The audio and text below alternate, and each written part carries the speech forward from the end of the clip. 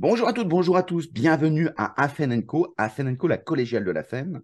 Aujourd'hui, on en est au numéro 274. Donc déjà, 274, et on poursuit notre partenariat avec ESF, euh, qui nous présente des auteurs particulièrement intéressants, qui ont réfléchi à des idées, qui ont réfléchi pour nous, qui nous proposent leurs réflexions et qui nous évitent de réfléchir autant ou alors de réfléchir à partir de leurs réflexions. Et c'est tout le talent. Aujourd'hui, on a Sophie Courreau. Bonjour Sophie. Bonjour Stéphane. Et on va aborder euh, peut-être une question plus originale euh, que d'accoutumée, une question plus personnelle. Euh, Sophie a écrit 7-8 ouvrages, donc c'est un travail de longue haleine. pourquoi avoir fait ça, Sophie? Pourquoi avoir écrit autant d'ouvrages? Ah, c'est, en fait, c'est très simple, c'est que c'est un peu comme une espèce de grossesse. À un moment donné, j'ai tellement de choses dans la tête que je me dis, il faut que ça sorte. Alors, plus, plus précisément ou avec moins de, moins d'analogies, euh, voilà. Euh, je dirais que, ben, quand on est formateur, en tout cas pour ma part, et je suis formatrice depuis très longtemps, euh, on est beaucoup dans la parole, ou en tout cas on l'était à une époque. Et parfois, j'ai ressenti la nécessité de me poser, de retourner aux sources, de lire, de vérifier que ce que je disais était juste et pas des élucubrations euh, empiriques. Hein. Et en lisant, je me suis dit, mais en fait, ma pratique, elle, euh, elle peut être partagée finalement, parce que j'ai pas mal d'années de pratique. Et voilà, c'est cette espèce de double exigence de, euh, de rigueur intellectuelle et aussi de goût de la transmission pour pouvoir euh, y revenir, euh, mettre un coup de, de stabilo dessus. J'adore. Le truc qui me fait le plus plaisir, c'est quand je vois des, des, des, personnes avec mes bouquins, avec des post-it partout et des gros traits jaunes dessus, et qui me disent, euh, Sophie, vous avez voulu dire quoi là? Et ça, je suis très contente. Très très bien. Parce qu'effectivement, Sophie Courreau est une, a créé des best-sellers. Ça fait partie de ces gens qui publient massivement, alors massivement pour la, pour la profession, mais en tout cas, c'est quelqu'un qui est une vraie influenceuse dans ses idées et qui, dans le temps, inscrit sa pensée. Donc ça, c'est important. Tu dirais que tu conseillerais à tout le monde d'écrire? Ou tu dis qu'aux gens qui sont possédés par, euh, par les idées? Euh, non, je conseillerais pas à tout le monde d'écrire parce que c'est vraiment un mode d'expression très personnel. Euh, moi, j'utilise souvent aussi l'analogie, tu sais, du, du gant mappa. J'ai pas toujours des analogies très poétiques. C'est-à-dire que je crois que quand on quand on est euh, formateur, on est très exposé, on est très extraverti et c'est équilibrant d'avoir des moments euh, où on, retourne dans sa propre intériorité. Et écrire, c'est un moment de silence, d'intériorité, de lecture, c'est un moment de doute. Puis c'est un moment aussi où on a le temps. On n'est pas euh, pressé parce que euh, il y a la pause à 10h30 et, et, et le déjeuner à, midi 30. Et donc voilà, donc pour moi c'était très c'est très important cet équilibre entre l'intériorité et l'extériorité, même si les deux contribuent à la transmission. Bien sûr. Et tous les, tous les formateurs qui, qui disent, parce qu'ils sont anciens, qui se perdent, ou que finalement ils font le spectacle du spectacle, euh, ça leur permet d'avoir une racine, euh, d'avoir quelque chose qui les ancre dans, dans leur façon de penser et de revisiter ce qu'ils font déjà depuis longtemps, mais différemment. Oui, j'aime beaucoup ton expression, euh, le spectacle ou se perdre. Je pense que c'est un risque que nous avons et ça me fait penser à une chose, euh, ce que tu dis, c'est que euh, l'écriture, pour moi, elle permet de me faire redescendre l'escalier d'apprentissage. C'est-à-dire qu'elle me permet de revenir à l'incompétence consciente. Mmh. J'écris, puis je me dis, c'est idiot ce que tu viens d'écrire ou alors mais ça suffit pas alors je vais chercher des bouquins des références je me rends compte que plein de gens ont écrit plein de trucs super euh, je me balade dans des sites euh, je voilà aussi partout dans le monde parce qu'il y a des choses très intéressantes ailleurs et ailleurs qu'en France je veux dire et puis je me dis ah ben ma fille il faut que tu réapprennes et j'aime beaucoup ça donc j'aime beaucoup écrire mais maintenant est-ce que tout le monde a envie? Euh, c'est pas sûr, c'est chacun comme il veut, je crois. Chacun ça, c'est ça. Dans le monde d'aujourd'hui, chacun a sa manière d'apprendre. Hein. Et je pense que ce qui est très important, c'est d'être conscient de sa propre manière d'apprendre, presque de son fonctionnement euh, neurologique, tu vois, vis-à-vis de l'apprentissage. Exactement, pour se découvrir soi. Et aujourd'hui, c'est vrai qu'il y a différents supports, que ce soit l'écrit, que ce soit l'audio, euh, que ce soit la vidéo. Chacun est plus à l'aise avec des outils. Mais à un moment, c'est bien de, aussi de se retrouver. Oui, Et puis, il y a une autre chose qui peut enchaîner sur nos autres sujets, Stéphane, c'est que là, franchement, bon, mon premier bouquin, je l'ai écrit en 92. j'ai commencé à bosser dans la formation, j'avais 22 ans, j'en ai, j'en ai 57. Et et j'apprends plus du tout comme avant. Et quand on lit tout un tas de choses, c'est pas lié à mon âge, c'est lié au monde. Mmh. Et quand on, on lit des choses parfois qui font peur, tu sais, sur la durée d'attention, euh, euh, voilà, les jeunes sur TikTok, bon, bah, moi, je suis sur TikTok aussi. Et moi aussi, j'ai un niveau d'attention qui doit être de 4 secondes quand les vidéos sont, sont stupides. Mmh. Et je peux rester plus longtemps sur des vidéos de chats. Je mmh. sais pas si ça m'apprend quelque chose, mais ça me détend les neurones. Et donc, ça m'a fait beaucoup réfléchir de m'observer apprenante, si tu veux, et de me mm. dire que j'aime toujours autant plonger dans des très très gros bouquins bien théoriques et mettre des post-it dessus, mm. et puis aller écouter une TED Talk, et puis euh, me balader dans un, dans écouter un podcast comme le tien, et puis me me balader euh, sur des sites. Et je me dis, ben c'est assez merveilleux en fait de se dire que mm. notre cerveau euh, apprend d'une manière vraiment exponentielle, tu vois, multidimensionnelle, systémique pour être plus clair. Complètement. Et, de savoir aussi que les contenus sont de plus en plus disponibles, gratuits, ce qui pose d'autres questions, mais que tout nous est offert. Oui, mais ça pose d'autres questions, notamment sur notre manière d'apprendre et du coup notre manière d'enseigner. Eh ben voilà. Donc une autre question, très belle question, une très belle transition, merci. Euh, justement, bah, quand euh, d'autres façons d'enseigner et de former, euh, qu'est-ce qu'il faut comme compétence pour, pour être un bon formateur? Qu'est-ce qu'on appelle un bon formateur? Alors, c'est une très chouette question. Je pense qu'on est plein à se la poser. Et, tu vois, je vais pas y répondre. parce que c'est pas sympa. Pourquoi je vais pas y répondre? Parce que, en fait, un bon formateur, les deux mots, ils ouvrent un champ de possibles tellement monstrueux mmh que je peux pas y répondre comme ça. C'est-à-dire bon, ça veut dire quoi? Ça veut dire euh, qui atteint les objectifs donnés par le client? Ça veut dire euh, qui, euh, selon Calliope, remplit les référentiels d'évaluation? Ça veut dire que l'apprenant a envie de contacter et qui suit sur son compte Insta? Ça veut dire quoi? Mmh. Bon. Et puis ensuite, parce que formateur, eh ben c'est pareil. C'est un mot qui couvre aujourd'hui une réalité très différente. Alors, tu sais, genre, quand on a discuté tout à l'heure, je me suis dit par où je l'attrape. Et puis même avec cette question, je vais, je vais attraper ta question autrement. Je voudrais mmh, mmh, attraper ta mmh. question un peu par les métiers, en fait.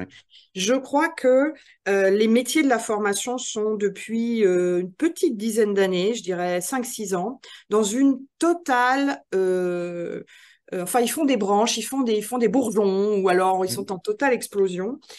Et, aujourd'hui, le métier de formateur, au sens celui qui enseigne, via Zoom, via Teams, dans des MOOC ou mmh. dans des salles, eh bien, euh, ça devient, euh, ça devient quelqu'un qui devient presque, qui passe de d'un formateur expert à un coach d'apprentissage. Alors, ça veut dire quoi?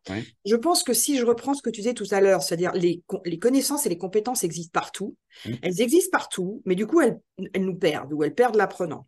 Et de plus en plus, le métier de formateur, c'est à la fois quelqu'un qui a une expertise, mais quelqu'un aussi qui guide.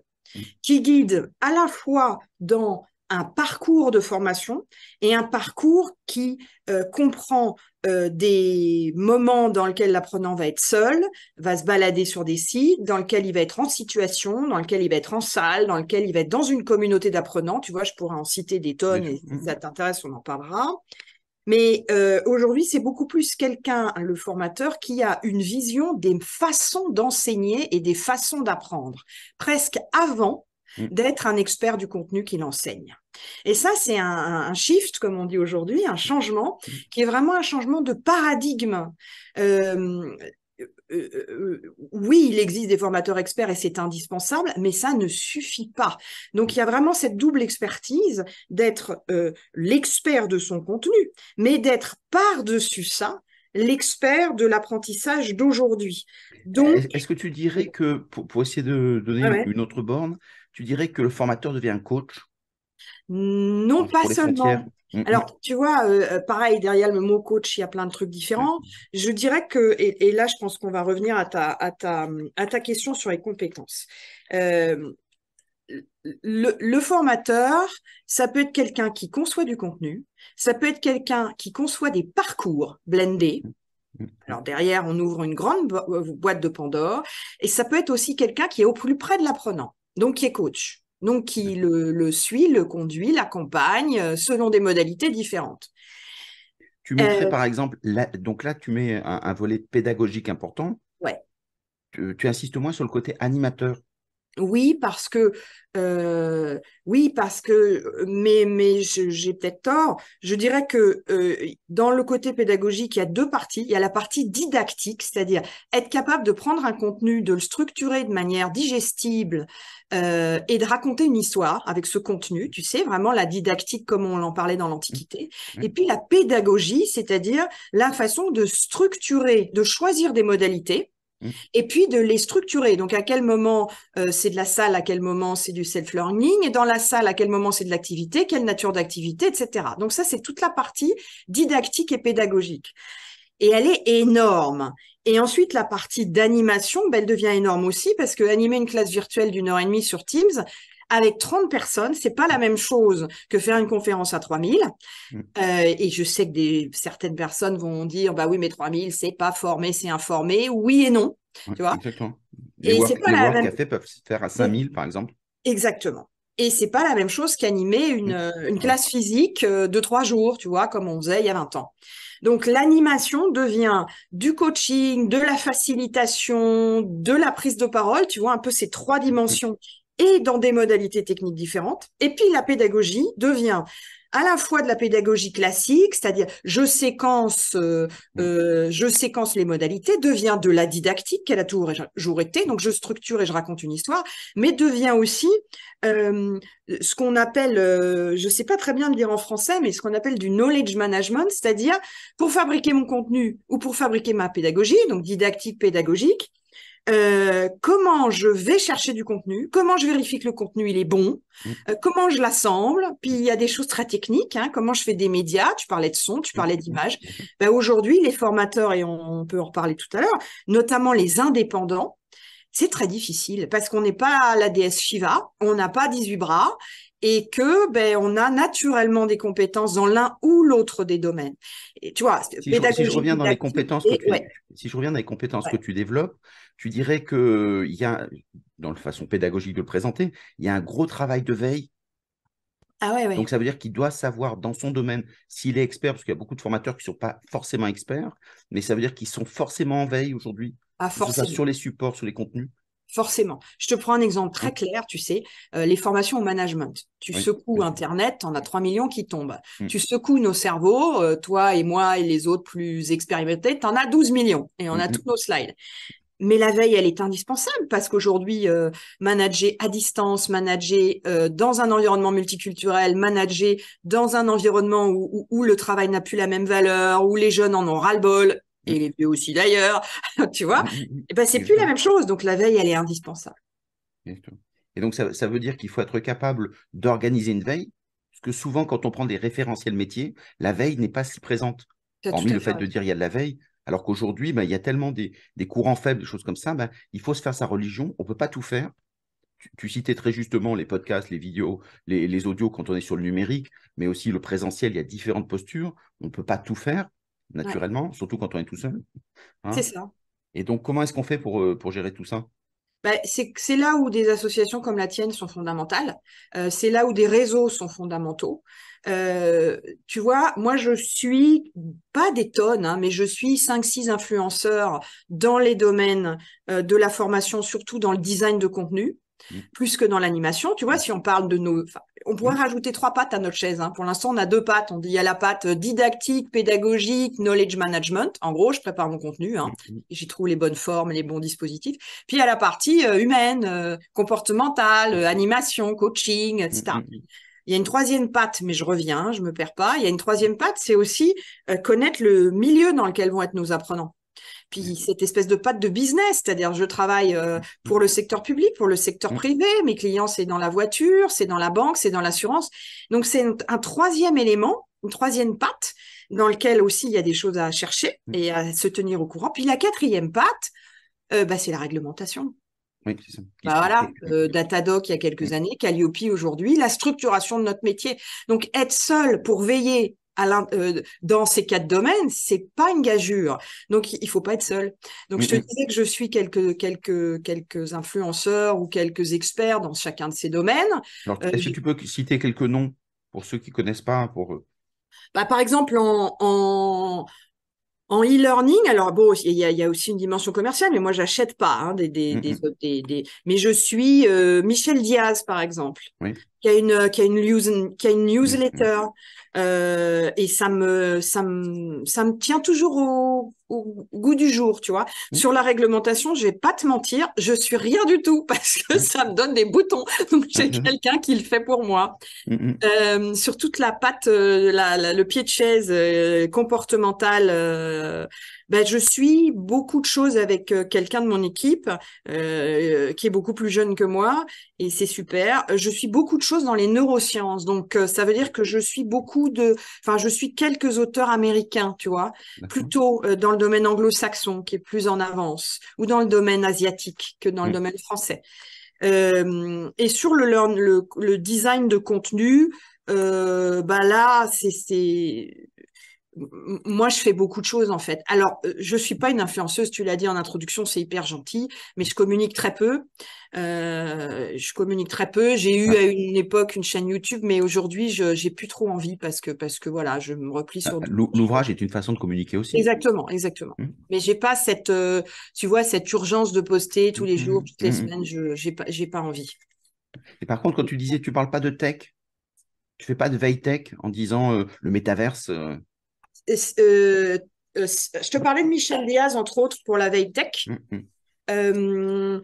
Euh, et, et je te disais que pour la veille tech et pour la veille animation, mais j'ai pas, j'ai pas précisé que c'était pour la veille tech, c'est, je le fais avec quelqu'un de mon équipe. Je préfère que ça soit quelqu'un qui ait 28 ans qui le fasse. Moi, ça, je me, je me, je me retrouve parfois et j'aime pas ça, tu vois. Je déteste être celle qui dit, ah, ah, c'était mieux avant, tu vois. Je déteste ça. C'est pas du tout mon état d'esprit.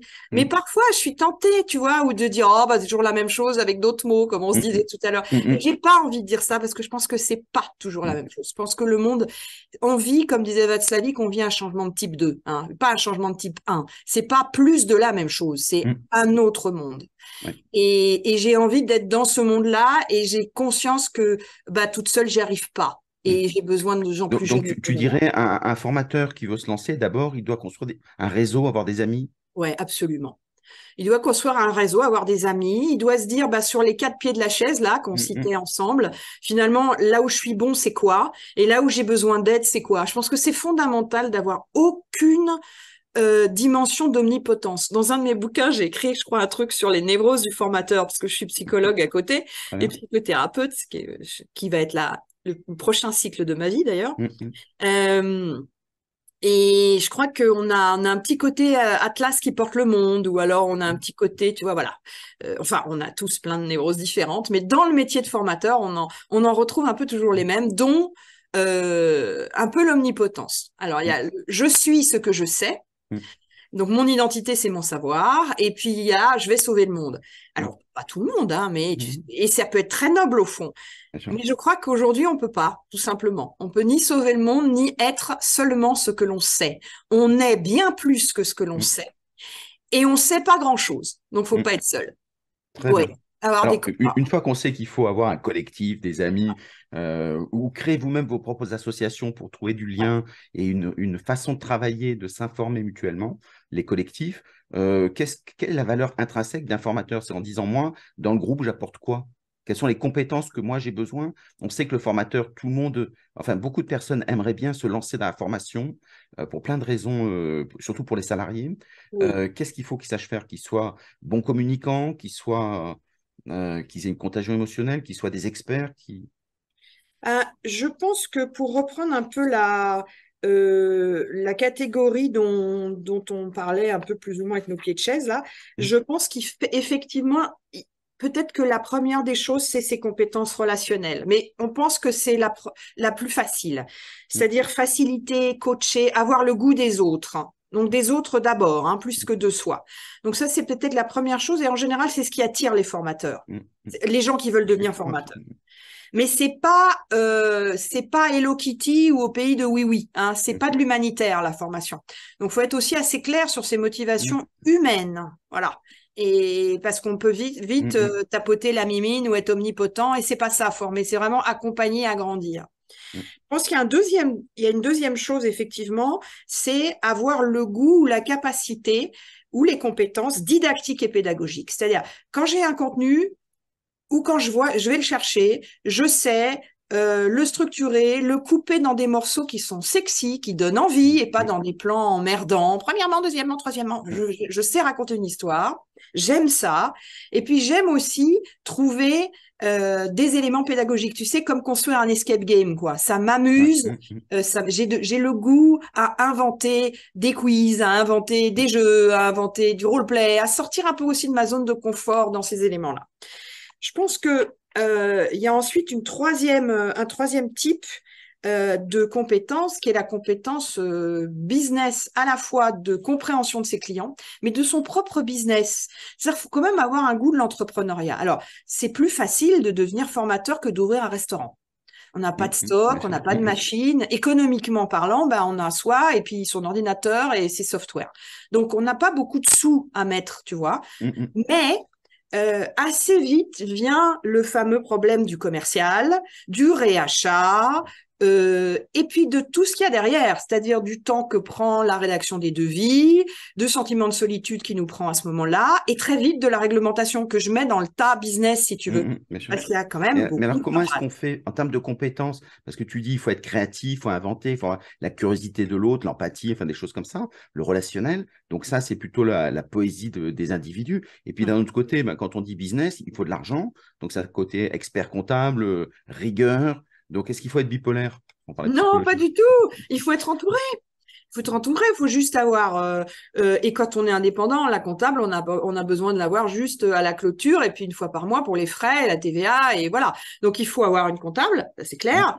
Euh, deuxième chose, il y a, on secoue l'internet, on trouve tout ce qu'il faut sur Calliope. Donc, il n'y a pas besoin de payer pour ça. Il y a besoin de passer du temps à lire et à trouver ce qu'il faut. Puis bon, après, à se mettre dans le processus de, de certification, c'est sûr. Et puis, euh, bah, le commercial, le commercial, ça, il faut du carnet d'adresse. Hein. Et il faut le goût d'aller chasser, ça c'est clair.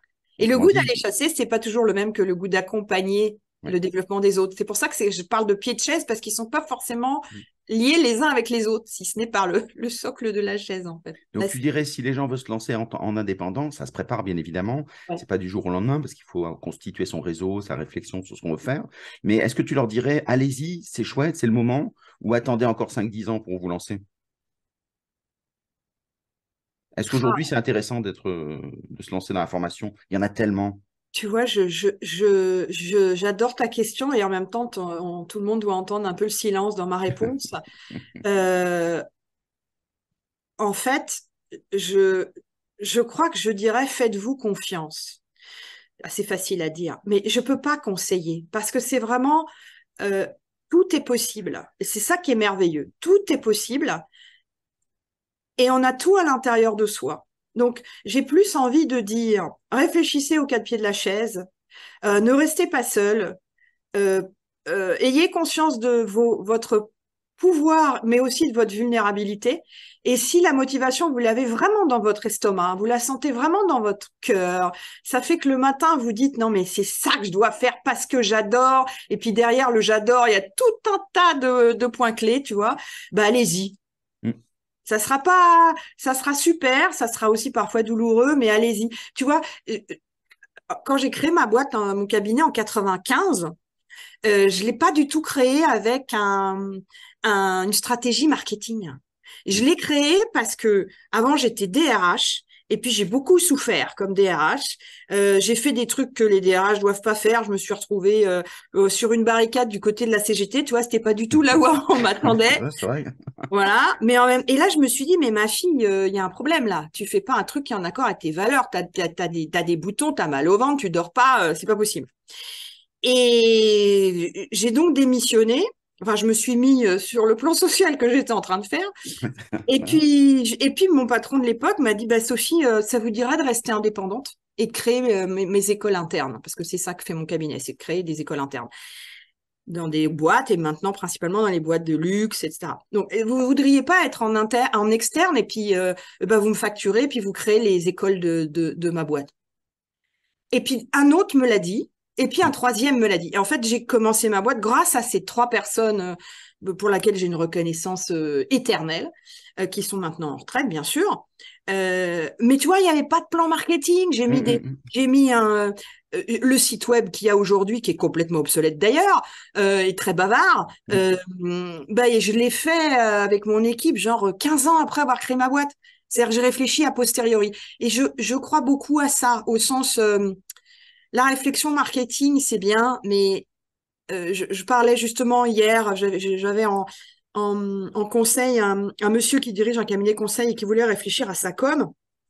Et en fait, euh, bah, je l'ai d'abord interrogé sur lui, lui mm. en tant qu'humain, quoi. Qu'est-ce qui et il, il m'a dit des choses merveilleuses et qui m'ont complètement inspiré, tu vois. Mm. Donc c'est ça que je dirais, c'est partez de vous, partez de vous, puis le marché il suivra. J'ai presque envie de dire ça. Aujourd'hui, c'est vrai parce qu'il y a des vraies opportunités. Je, je reprendrai ça en disant écoutez-vous, comme tu disais très justement, euh, c'est le point de départ, et écoutez le monde. Oui. Et, on s'aperçoit qu'après, le marketing, qui sont des techniques qui fonctionnent très bien, mais ça prend du sens parce que derrière, on a écouté, on a vu des opportunités, des gens qui nous appellent. Mais si les gens nous appellent, c'est parce qu'ils se sentent entendus. Et parce qu'on parle vrai. Alors ça, c'est les deux éléments dont tu parles et qui sont très justes. Euh, il y a tellement de contenu sur tout que, euh, pour reprendre ce mot anglais, que le bullshit, ça ne mmh. marche plus. Mmh. Et donc, euh, l'authenticité d'un quelqu'un qui veut devenir formateur pour des raisons ABC et quand il les dit, ça sonne juste. Mm. Il raconte pas des fariboles. Euh, il veut pas remplir un coin euh, dans le marché, tu vois. Il veut pas répondre à une demande, mais il pense que c'est juste ce qu'il fait et qu'en plus il y a de la demande, tu mm. vois. Mais d'abord c'est juste pour lui, pour elle. Je pense que c'est ça qui marche. Il y a tellement, tellement de, de baratin, si tu veux, mm. sur les sur les différentes ondes, que les personnes qui sont vraies, on les entend. Et, et c'est pas des techniques, ça, tu vois.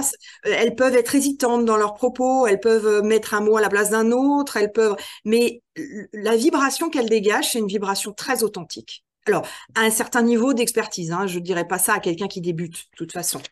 Mm. Qui débute, euh, qui débute, pas qui débute formateur, mais qui débute dans la vie professionnelle, je veux dire. Mm. Donc, tu conseillerais à, des, les jeunes ne peuvent pas devenir formateurs? Bah, les jeunes, je dirais que euh, prenez un petit peu de temps quand même, parce que les heures de vol de la vie, mmh. les heures de vol de la vie, de la vie privée, du corps qu'on a, hein, on est on est des humains incarnés dans un corps. Euh, ça compte quand on est formateur. moi, j'ai commencé, je l'ai dit tout à l'heure, à 22 ans, mais je me suis pris un nombre de portes dans la figure et j'ai fait un nombre d'erreurs. Et d'ailleurs, j'avais des habits, tu sais, pour faire très très sérieuse et tout ça, et des coupes de cheveux, c'était complètement ridicule. Mmh, et je pense que il y a plein de gens adorables qui se sont dit, bah, derrière cette, cette fille qui fait un petit peu semblant, il y a une fille qui a des trucs à dire. Mm, mm. Et, c'est un peu plus tard. D'ailleurs, j'ai été, j'ai été formatrice dans un cabinet pendant sept ans. J'ai créé ma boîte, j'avais 31 ans. J'ai mm. commencé formatrice, euh, j'en avais 22, 23, tu vois. Et avant, j'ai eu le, j'ai eu le bonheur d'être euh, dans un cabinet de formation qui n'existe plus aujourd'hui, mais avec un patron, des collègues qui m'ont beaucoup appris. Tu vois, j'étais salariée, alors j'avais un chiffre à faire et tout, mais et, et, et, ce cabinet et ce patron et ses collègues m'ont m'ont parrainé, m'ont aidé et, j'ai volé de mes propres ailes euh, plus tard. Oui, à 30, ne, ne pas être seul. Ah non, non, je ne peux pas conseiller d'être seul. Mmh, mmh. Complètement. Donc, c'est indispensable. Et, comme tu disais, la solitude du formateur, c'est euh, quand on a de l'énergie, souvent liée à la peur quand on se lance. Euh, finalement, quand on se repose, quand on est seul et qu'on est parfois, euh, on a du mal à tisser de son lien. Et il y en a beaucoup qui arrêtent à cause de ça en disant, je préfère avoir des gens qui m'embêtent dans mon bureau, mais en tout cas, je suis vivant, je réagis, donc j'ai besoin. Et pour éviter ça, bah, il suffit juste d'avoir des amis. Donc, constituer votre Tinder des formateurs. Donc, ça, c'est bien. Mais Madame. Alors, on, disait que le monde euh, présente plein d'opportunités. En formation, est-ce que ça change tant que ça? Il y a des gens qui disent, euh, bah, c'est un peu comme d'habitude, sauf qu'on change les mots. Euh, comme disait le guépard, euh, on change tout pour rien changer. Oui. oui, et eh ben moi je crois que ça change vraiment. je crois que ça, ça, va être une tarte à la crème terrible, mais je sais pas le dire autrement. Je suis désolée, Stéphane. le numérique au sens large a changé beaucoup de choses. Alors, peut-être que si je te, je te, les cite, mm, mm. euh, ce que ça change, ça change dans la manière d'apprendre, hein, donc pour nos apprenants, donc par conséquent dans notre manière d'enseigner. Et du coup, de devenir coach d'apprentissage et pas seulement expert. Je crois qu'il y, y, a un premier truc, c'est... Euh, euh, allez, je te donne des points clés, ça fait toujours mm, plaisir aux formateurs. Il y a un premier truc, c'est qu'aujourd'hui, on apprend en mode hypertexte. Donc on apprend euh, avec les liens bleus, tu sais, dans les sites. Et eh ben notre cerveau il fonctionne comme ça. Donc il fonctionne de manière beaucoup plus itérative euh, et systémique que de manière linéaire. Hein. Le Monsieur Descartes. Et dans un premier temps, nous allons voir, puis dans un deuxième temps, puis etc. Il n'y a pas de lien entre les parties, ça marche plus. Les on fonctionne. Mentales. Ouais, on fonctionne en carte mentale, on fonctionne en, lien hypertexte. Mmh. Notre cerveau fonctionne comme ça. Donc on peut se perdre, hein. mais voilà. Donc ça veut dire que notre manière d'enseigner, elle doit être beaucoup plus dans le fait de raconter des histoires qui maintiennent l'attention que de faire des plans structurés qui emmerdent. Parce que si tu annonces à tes apprenants, eh ben on va d'abord voir ça, puis voir ça, puis voir ça, bah ils dorment. Si tu leur racontes une histoire avec une métaphore, une analogie, ben voilà, en fait, on va se balader au pays d'eux. Et au fur et à mesure, vous allez découvrir des trucs, et je vous le dis pas tout de suite, ben, l'attention, elle est maintenue. On tease. Ouais, c'est ça. Mm, et mm, ça mm. va avec la deuxième chose, c'est l'évolution de la capacité d'attention. Oui, indubitablement, la capacité d'attention a baissé. Donc oui, indubitablement, bah faut avoir des crochets, des, des, des hameçons, des hooks à la mémoire. Euh, il y a une troisième. Est-ce qu'elle a baissé ou elle s'est adaptée? C'est-à-dire que comme il y a de plus en plus de choses à apprendre, je scanne au début pour voir euh, les aspérités. Ça me permet, euh, donc j'ai moins d'attention puisque je surveille de loin. Euh, le multitâche, quand on écoute du podcast, on fait autre chose à côté. Et puis là, je dis, tac, il y a quelque chose, tac, ça me surprend, alors que je n'étais pas hyper attentif. Et là, je reviens en arrière et j'écoute. Est-ce que ce n'est pas une autre façon de gérer l'information qui est exponentielle? Il y a, oui, certainement. Et aussi, alors là, c'est la maman qui parle. Hein. J'ai la chance d'avoir euh, élevé cinq enfants et le, dernier a 15 ans. il est en seconde et je m'occupe beaucoup du petit dernier et de ses devoirs, etc. Bon, là, si tu veux, la capacité d'attention, euh, quand on a fait la fiche de lecture sur Phèdre de Jean ah. Racine, mm. bah écoute, euh, je te raconte pas. Hein. Bon, si tu veux, les Alexandrins, non, il y a une baisse de capacité d'attention. Mais, mais ce que tu dis est vrai aussi. Hein. Il y a un changement de manière de maintenir son attention. En revanche, dans ce que tu décris, c'est-à-dire la capacité à revenir en arrière et à se dire tiens j'ai raté ça, j'y reviens mais je perds pas mon fil. Mm, mm. Ça et eh ben c'est pas forcément partagé par les jeunes générations. J'aime pas dire ça, mais malheureusement euh, ça leur demande beaucoup d'efforts. Et, les enseignants sont des héros hein, parce que c'est hyper dur d'enseigner les jeunes aujourd'hui. Surtout comme ils ont été formés. Euh, est-ce que tu ah. dirais que les jeunes deviennent de plus en plus idiots? Je dis ah, ça, euh, je dis ça parce que derrière, il y a quand on voit les, indicateurs, que ce soit PISA, que ce soit Teams, où on, est avant-dernier euh, dans l'OCDE quand même. En mathématiques, c'est nul. On est enfin avant nul. voilà. Mais ça veut dire qu'effectivement, il y a certaines voix qui se disent, ils savent plus rien, ils sont nuls. Bah, c'est-à-dire qu'ils sont évalués sur des référentiels qui ne sont plus d'actualité. Non, non, non, non, je trouve mmh. que les jeunes sont de plus en plus intelligents et les adultes les comprennent, leur comprennent, les comprennent de moins en moins. Voilà. Et, et, tu vois, tu as aussi aussi bien des, des, études là qui viennent de sortir et qui disent que les jeux vidéo euh, développent incroyablement les capacités cognitives. Et je te jure que c'est vrai. Donc non, non, ils sont pas idiots, loin de là. Ils sont plus intelligents, mais c'est une autre intelligence. Alors il y a un autre truc dans la révolution, je dirais, c'est l'apprentissage du juste à temps. J'apprends quand j'ai besoin, où je veux et quand je veux. Et ça, c'était pas comme ça au début. Mm. Donc ça veut dire que j'ai une question, bah je vais sur Google, quoi, tu vois, mm. euh, ou je vais sur euh, mon ma communauté WhatsApp ou Snap mm. ou etc. Ça, ça a complètement changé la manière d'apprendre. C'est-à-dire que j'ai pas j'ai pas de patience. Je veux une réponse tout de suite. Et du coup, bah, parfois, il y a des savoirs qui nécessitent de reposer, comme de la pâte à crêpes. Si tu veux, quand tu lis des savoirs en philo, bah, tu as besoin de temps. En psycho, bah, tu as besoin de temps pour digérer. Et ça va pas toujours avec la recherche d'immédiateté, tu vois. Il y a un autre truc qui change considérablement, si je, cite, euh, euh, c'est les communautés. C'est-à-dire que les rôles changent. C'est pas le et ça, ça fait longtemps. Hein, c'est pas le formateur tout puissant qui sait et puis l'apprenant qui sait pas, qui est un vase vide que l'on remplit. Pareil pour les élèves à l'école. Hein, et c'est là qu'il est le problème. Euh, pas, à l'école à l'école primaire, mais il est là, il est là en secondaire. Euh, Aujourd'hui, les adultes conformes, euh, bah, ils sont dans des communautés et ils apprennent autant de leurs pères euh, que de nous. Et, et, ça change complètement le rapport au pouvoir et le rapport au savoir. Tu vois, c'est vraiment une nouvelle manière. Est-ce que c'est pas un problème pour les formateurs qui, lorsqu'ils sont experts, euh, développent leur expertise, alors que là, ils deviennent pairs? Mais complètement. Mais complètement. C'est un problème qui est psychologique. Mmh, mmh, mmh, euh, et tu sais, tout à l'heure, on parlait un peu des, avec plein plein de guillemets, gentiment, hein, mais des, des névroses des formateurs. Pourquoi on est formateur? Si on est formateur parce que notre identité, c'est notre savoir, ben on est un peu dans le caca. Hein. parce que le savoir, il devient tellement énorme hein, qu'il vaut mieux avoir une identité bien plus large que seulement ce qu'on sait. Mm. Et peut-être au, contraire avoir une identité qui est liée à plein de choses et entre autres notre capacité à développer ce qu'on sait ou à le remettre en question mm. avec humilité. Tu vois? Donc oui, c'est pas toujours une gageure. Hein. Mm. Cette, ce changement. Puis je pense qu'il y a deux autres points clés dans les façons d'apprendre. C'est le feedback immédiat. Tu sais, les pouces, les pouces bleus, les pouces levés, les étoiles, les machins. Cette culture du feedback immédiat qui parfois est peut, pour des gens de ma génération, être très irritant. Euh, bah ouais, sauf que, sauf que, bah voilà, tu, tu mets tout de suite ton truc, euh, disant le resto il est bon ou des, voilà. Et il y a un peu une tendance à, aux consommateurs à consommer. Bah oui, mais on est aussi mis dans un univers d'ultra consommation. Et donc le consommateur, ben, il dit c'est bien, c'est mal, c'est bien, c'est mal, sur des choses très très hum, réactives, tu vois, très des, des, irritations cutanées immédiates presque. Mais, est-ce que ça permet pas finalement de faire une meilleure pédagogie C'est-à-dire quand on a un grain euh, qui est mauvais, on sait de suite qu'il est mauvais, on l'enlève. Si c'est une vidéo, ben, on la refait, puis on, la remet en ligne. Ça marche. Si, bien sûr. Et c'est ça qui est intéressant dans le monde d'aujourd'hui, c'est que c'est pas euh, noir et blanc, tu vois. On est mhm. dans toutes les nuances de gris, si je puis dire. Mais euh, c'est bien ça. Mais aussi, il y a un élément plus complexe qui est, tu sais, le conflit cognitif. C'est-à-dire que parfois, on comprend pas tout de suite et ça nous frappe. Mm. Et on se dit merde, j'ai pas compris. Qu'est-ce mm. qu'il voulait dire là? Et ça m'emmène les pinceaux.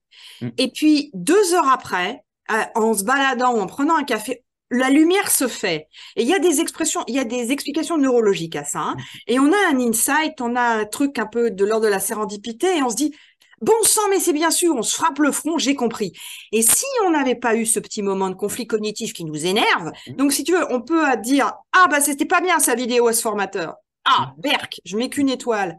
Puis deux heures après se dire ah ouais mais en fait ce que j'ai vu dans la vidéo ça c'est pas mal en fait, tu vois.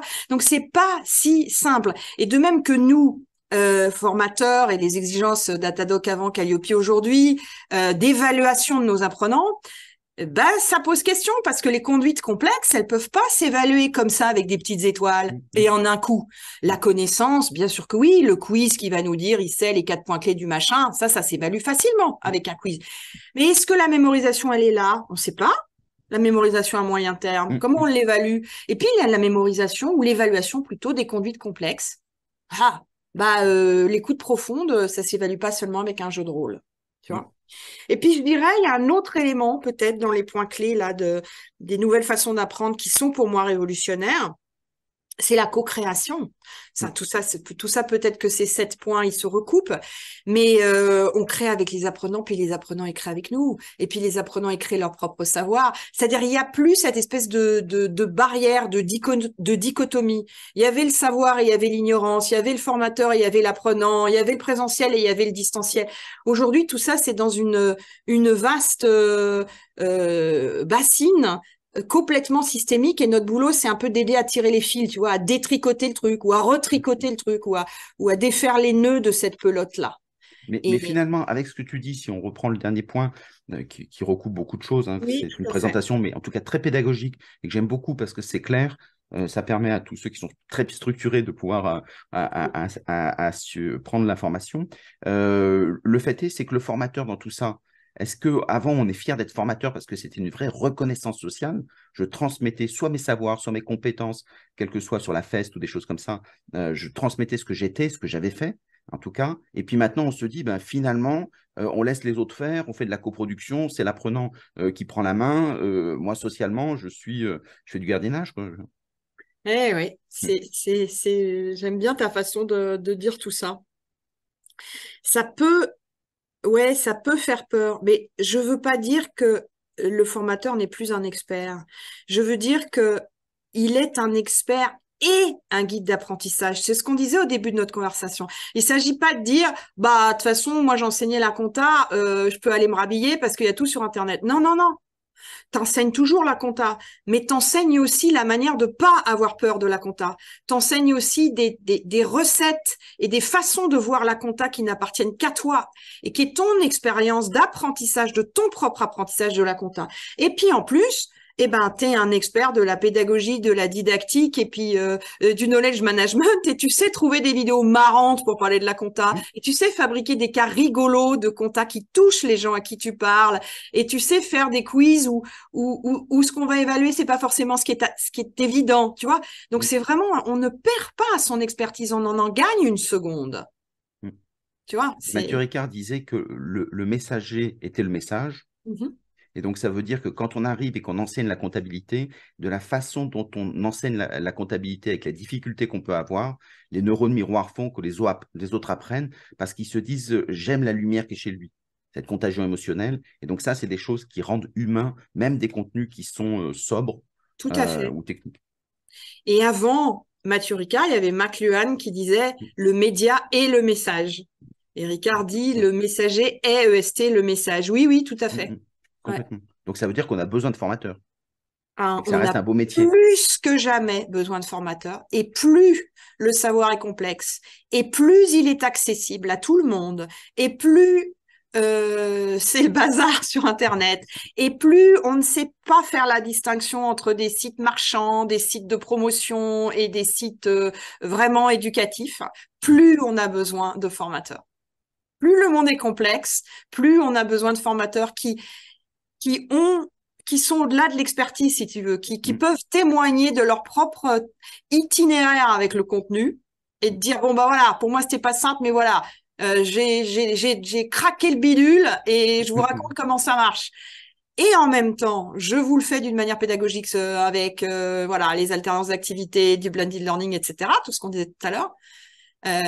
Euh, on a besoin de formateurs comme ça. Ah non, mais c'est sûr et certain, mais c'est exactement la même chose que le sport.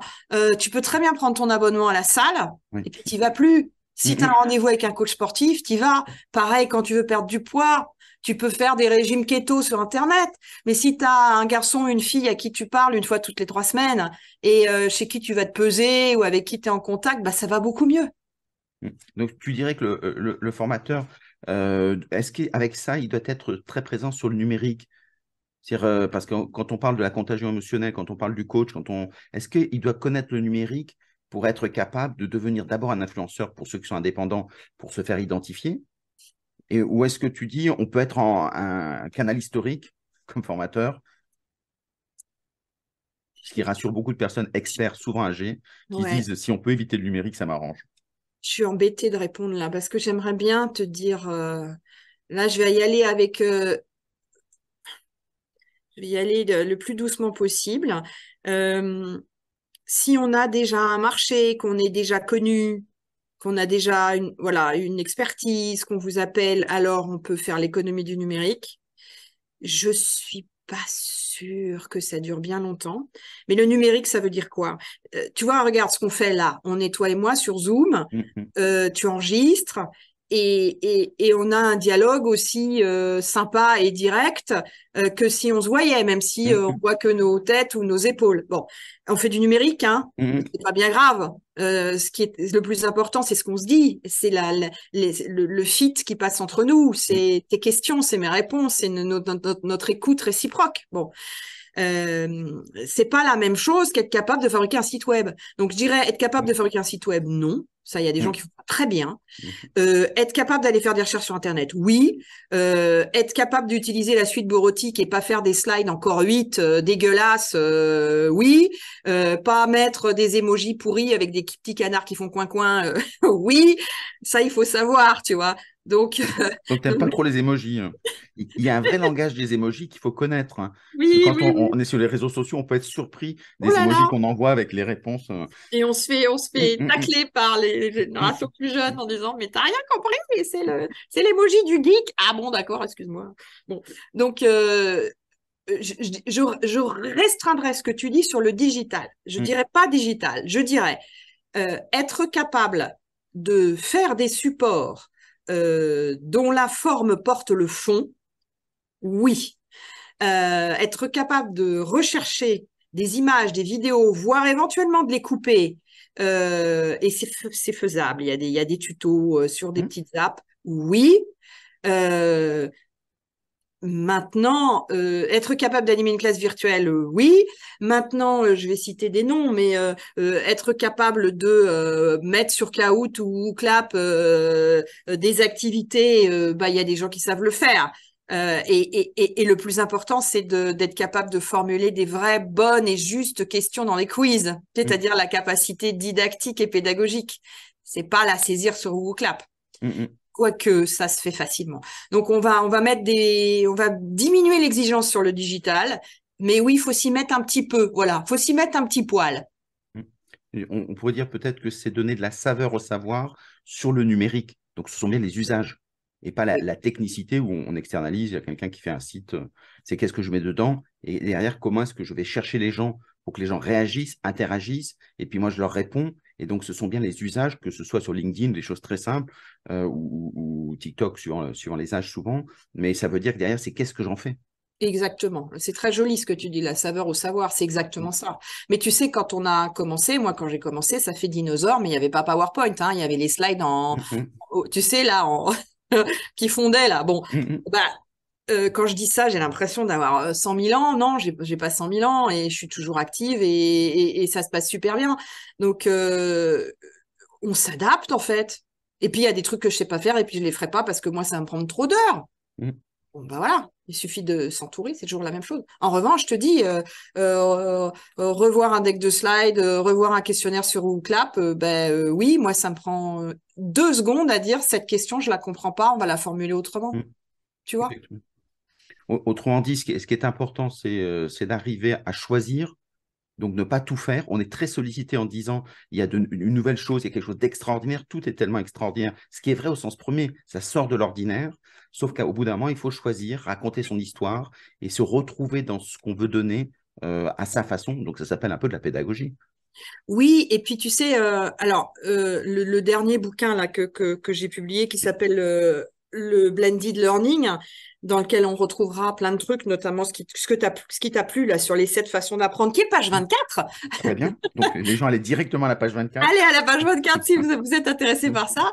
Il y, a, il y, a, toute une partie comme ça où, où je parle des nouvelles façons d'apprendre, des nouveaux métiers, des nouvelles compétences en étant assez euh, simple. Puis il y a toute une partie euh, de, de, de technique sur le blended learning.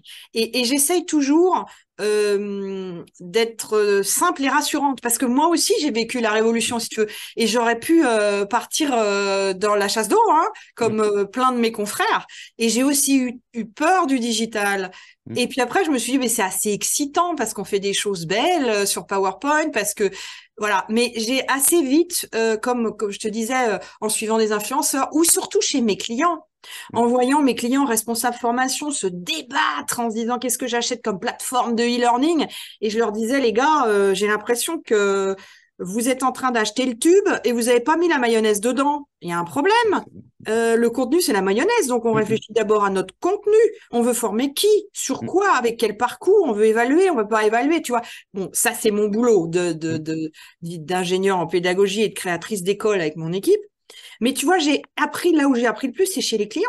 Mm. Ils se sont arrachés les cheveux il y a dix ans, euh, qui ont fait des, euh, qui, qui, ont, qui, ont, qui se sont posé plein de questions en disant mais quelle plateforme? Et puis ça veut dire quoi une plateforme? Et puis après quel outil de de mobile learning Tu sais sur le téléphone lequel on achète? Et puis mm. après on se rend compte que l'outil qu'on a acheté, l'app hein, qu'on a installé mm. sur à 3000 vendeurs sur le téléphone, ben elle est pas bien compatible avec la plateforme. Donc ça veut dire que les données de connexion de il y a 30% de gens qui ont réussi le test numéro bidule on les retrouve pas. tu vois, c'est eux les pauvres, c'est les mm-hmm. gens qui, ont tellement euh, essuyé les plats. Donc, autrement dit, ce qui est important, c'est d'avoir une stratégie. Et donc, euh, par rapport à tous les usages, tu citais euh, l'analyse systémique, c'est d'avoir à un moment se poser pour constituer une vraie stratégie. Et là, on a besoin, on parlait d'accompagnement, avant de se lancer dans l'arbre, c'est de penser la forêt. Oui. Et c'est là où on a besoin, moi c'est ce que j'aime beaucoup chez toi, c'est d'être capable de discuter sur des outils avec des prises de position que d'autres peuvent trouver bien ou pas bien, mais d'avoir au moins une vision globale de ce qu'on appelle formation, à quoi ça nous sert, comment on veut la faire évoluer, quels sont mes fondamentaux. Et là, on revient sur des questions classico-classiques. Oui, tout à fait. On revient sur des questions classico-classiques. Et d'ailleurs, j'en veux pour preuve un truc qui va te faire rigoler. Mais euh, tu sais, c'est la fameuse définition des objectifs pédagogiques. Mmh. Ouh, être capable de. Bon, moi, il y a, je sais pas quoi, 150 ans, j'ai fait partie de la commission d'experts euh, AFNOR qui a rédigé la norme, je m'en souviens, X50750, tu sais, euh, qui a plus tard donné naissance à Datadoc et tout ça. Et c'était vachement intéressant d'être de faire partie de ce groupe d'experts. J'ai adoré ça. Et ben, la définition des objectifs pédagogiques, je vais te dire, et, et ben, on est toujours au même point. Et c'est sympa. Mm, et mm, la, mm, et la taxonomie de Bloom, Bloom, il n'est pas d'hier, le garçon, si je puis dire. On en est toujours là. Euh, et l'éducation nationale a fait plein de progrès là-dessus dans les référentiels d'évaluation des élèves après la sixième, après, tu vois, en étant beaucoup plus précis. Euh, ça, moi, j'ai j'ai un enfant qui a 30 ans et un autre qui a 15, euh, puis euh, ceux du milieu entre les deux. Il y a eu un changement complet et j'ai trouvé ça, ça m'a beaucoup touché de voir que les enseignants d'éducation nationale se, se mettaient là-dedans, tu vois, dans ce qu'on appelle la docimologie, la science de de l'évaluation. Bon. Euh, bah, qui dit évaluation dit définition d'objectifs. Alors après, ça peut faire des, des, des, usines à gaz de référentiel de compétences, mais dans certains cas, c'est indispensable, notamment quand on a besoin d'avoir un diplôme ou de certifier une compétence professionnelle. On n'a pas envie de, voilà, hein, par exemple en médecine, on n'a pas envie de mettre euh, notre santé dans les mains d'un infirmier ou d'une infirmière qui, qui, qui, qui n'est pas complètement apte, tu vois. Qui a acquis ses compétences que sur des MOOC. Oui, ah bah non. ça serait délicat. Mais donc très très bien, c'est passionnant. On arrive à la fin de l'émission malheureusement, donc ça veut dire que c'est forcément frustrant, mais ça veut dire qu'on se dit des choses. C'est ça qui est bien. Euh, comment est-ce qu'on fait pour te contacter, pour euh, si on veut si on veut te poser des questions, si on trouve ça intéressant? Alors je rajoute que je mettrai les liens euh, des livres sur, sur les notes de l'émission. Donc, n'hésitez pas à aller voir les notes de l'émission pour cliquer dessus. Mais si les gens veulent en savoir plus ou réagir sur tes livres, alors, bah d'abord, ça me fera très plaisir. Euh, ça me fera très plaisir. Donc, il y a trois manières de me contacter. Il y a euh, sur mon site web qui est euh, sophiecourau.com, tout collé, C-O-U-R-A-U. Il y a sur le site de ces compagnies qui est un peu obsolète encore une fois, mais bon, c'est pas grave, j'assume. On dit en construction. Oui, non, mais il est plutôt en destruction. Unlearn and relearn, tu vois. Exactement, c'est ça. Voilà, donc ça c'est contact at ccompagnie.com. Et puis j'ai un, un Insta. Alors mon Insta, euh, euh, c'est une autre un autre domaine de ma vie parce que euh, bah voilà, je, je, fais un peu d'art, un peu de, de, de collage, des trucs comme ça. Et attends, je regarde mon Insta, je crois que c'est Sophie Courreau, tout bête. Euh, c'est sophie.courreau, mon Insta. Et là, euh, là, il y a, y, a, y a, rien de boulot, il y a que des photos, mais je trouve que euh, soit des photos de, de, de, mes, de mes collages ou de mes dessins, ou etc., soit des photos qui, euh, finalement, quand on les regarde, elles ont à voir aussi à ce que, avec ce que je dis sur l'apprentissage. Mais c'est que des images.